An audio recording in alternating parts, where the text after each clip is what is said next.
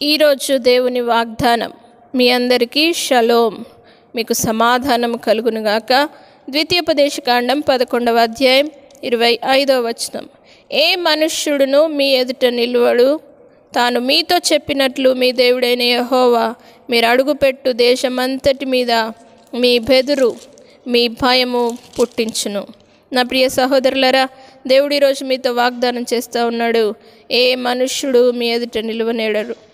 నా ప్రియ సహోదరులారా మీరు చాలా బాధపడుతుండవచ్చు. ఏ మాంత్రిక శక్తులు నన్ను నా మీద ప్రయోగం చేస్తున్నాయని ఏ మాంత్రికుడు నా మీద ప్రయోగం చేస్తున్నాడు అని మీరు బాధపడుతుండవచ్చు భయపడుతుండవచ్చు.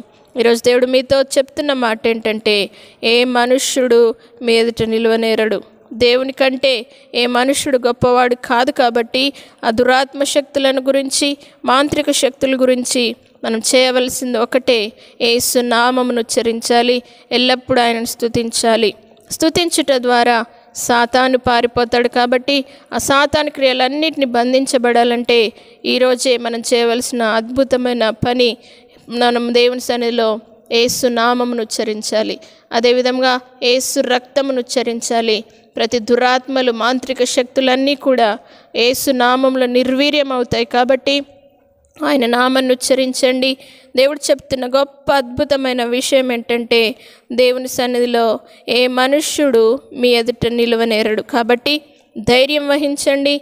మీరు అడుగుపెట్టు దేశమంతటిలో తప్పకుండా మీ బెదురు భయము అనేకులకు ఉంటుంది. కాబట్టి ధైర్యం వహించండి.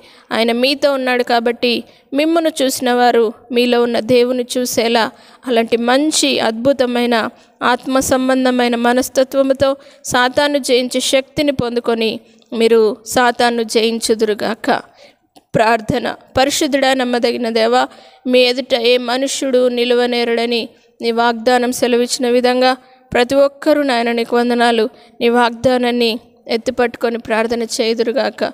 ఏ మనుషుడు మీ ఎదుట నిలువనేరడని సెలవిచ్చిన వాగ్దానం ఇప్పుడే ప్రతి ఒక్కరిలో దేవానికి స్తోత్రమేసయ అది రుజువుపరచబడును గాక ప్రతి సాతాను క్రియలు దురాత్మశక్తులు మాంత్రిక శక్తులను ఏసు నామం ద్వారా దేవాని స్తోత్రం వారు బంధించదురుగాక. వారు ఏసు నామాన్ని ఉచ్చరించడం ద్వారా గొప్ప శక్తిని పొందుదురుగాక. దేవా మీరు అడుగుపెట్టు ప్రతి స్థలంను దేశమంతటి మీద తప్పకుండా మీ ఆశీర్వాదం ఉంటుందని సెలవిచ్చిన దేవుడు నీ శక్తి ద్వారా వారి జీవితంలో గొప్ప అద్భుతాన్ని జరిగించమని ఏసు పరిశుద్ధ నామను బట్టి అడిగి వేడుకుంటున్నాము తండ్రి. ఆమె